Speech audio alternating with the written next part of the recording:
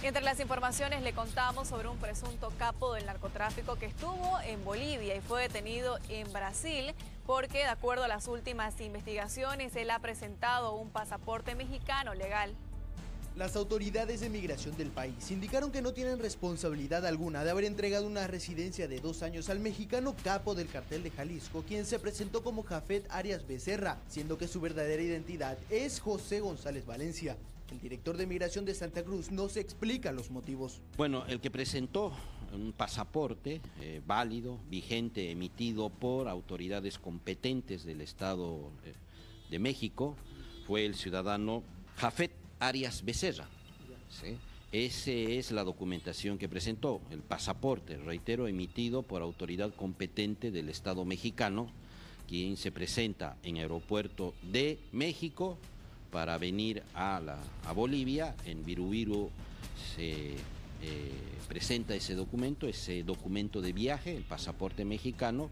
Verificada estas circunstancias, evidentemente no había impedimento para que ingrese al país el señor Jafet Arias Becerra, en virtud de que el pasaporte emitido por autoridad competente de México era válido, vigente y no adolecía de ningún tipo de circunstancia o elemento que nos genere dudas razonables sobre la autenticidad del mismo. Se conoce que este capo del narcotráfico que estuvo por seis meses en el país cumplió con todos los requisitos para poder conseguir la residencia con su segunda identidad como Jafet Arias Becerra. Bueno, uno de los eh, requisitos es la, si es por trabajo, tiene que demostrar y acreditar el vínculo laboral que posee este ciudadano y eso la, única, eh, la forma para acreditar es a través de un contrato de trabajo.